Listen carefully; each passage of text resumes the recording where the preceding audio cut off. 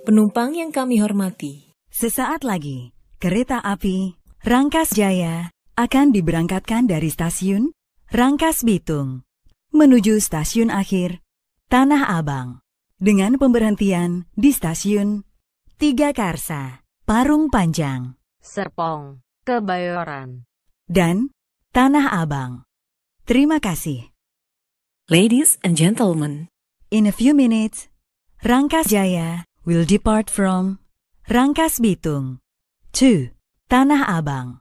This train will stop at Tiga Karsa, Parung Panjang, Serpong, Kebayoran. and Tanah Abang. Thank you.